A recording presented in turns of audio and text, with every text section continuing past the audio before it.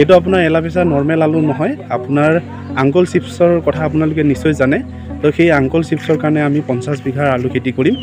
পেপচিকৰ আলু আহিছে এক ট্ৰাক গাড়ী আহিছে। টোটেল আপোনাৰ দুশ তেৰ পেকেট আহিছে পঞ্চাছ কেজিকৈ আছে। মানে আপোনাৰ প্ৰায় এশ সাত কুইণ্টেল মাল আহিছে ইয়াতে। বন্ধুসকল এই আলুৰ পৰা আপোনাৰ আংকল চিপছ বনোৱা হয়। মানে বন্ধুসকল আমি এবাৰ যিটো খেতি কৰিব বিচাৰি আছোঁ যিটো আলু খেতি কৰিম সেই আলুটো গৈ পেলা পেপচিকৈ কিনি ল'ব আমাৰ পৰা কিন্তু সেই আলুটো গৈ পেলাই আপোনাৰ আংকল চিপছ বনাব।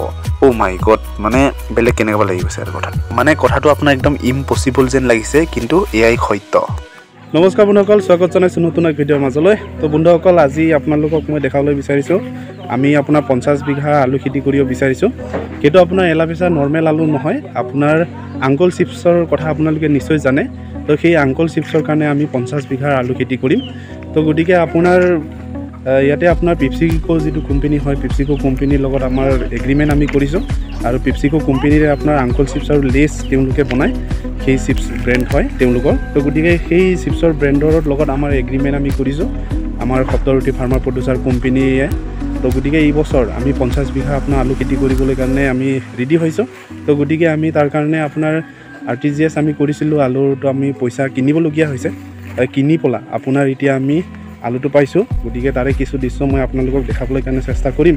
তো গতিকে আপোনালোকে সম্পূৰ্ণ চাব আৰু ইয়াতে বাকীখিনি গোটেইখিনি প্ৰচেছ আপোনালোকক দেখাম আৰু আমাৰ কৃষকে কেনেধৰণৰ এই আলু খেতি কৰি পেলাই লাভৱান্বিত হ'ব পাৰিব। সেই বিষয়ে ইন ফিউচাৰ মই আপোনালোকক পৰ্যায়ক্ৰমে ইয়াৰ পিছতে মই আপোনালোকক দেখাবলৈ কাৰণে নিশ্চয় চেষ্টা কৰি থাকিম।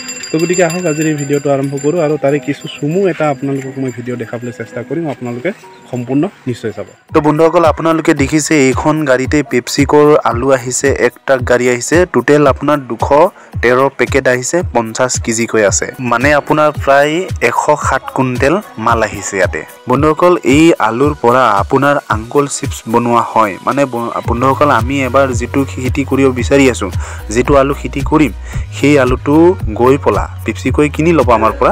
কিন্তু সেই আলুটো গৈ পেলাই আপোনাৰ আংকল চিপছ বনাব। অ' মাই গড মানে বেলেগ কেনেকুৱা লাগি গৈছে আৰু কথাটো। মানে কথাটো আপোনাৰ একদম ইম্পচিবল যেন লাগিছে কিন্তু এয়াই সত্য। তো বন্ধুসকল আমাৰ যিসকল কৃষকে আলু খেতি কৰিব পেপচিকৰ তেওঁসকলক আমি লগৰ লগত আমি গাড়ীৰ পৰা ডাইৰেক্টে তেওঁলোকৰ গাড়ীত আমি দি দিয়াৰ ব্যৱস্থা কৰিছোঁ। আৰু যিসকলে লৈ নাযাব আজি তেওঁসকলৰ যিকেইটা আলু হয় সেইটো আমি ৰাখি দিম আমাৰ ঘৰতে। তো নেক্সট দিনাখন আমি তেওঁসকলক আমি দিয়াৰ ব্যৱস্থাটো কৰি দিম।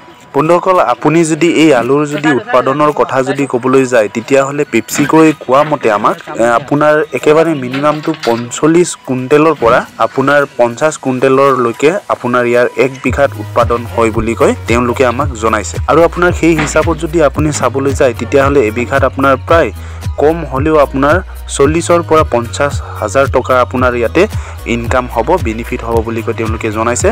আৰু সেই হিচাপত যদি আপুনি দহ বিঘা যদি কৰিবলৈ যায় তেতিয়া পাঁচৰ পৰা সাত লাখ টকা আপোনাৰ ইনকাম হ'ব।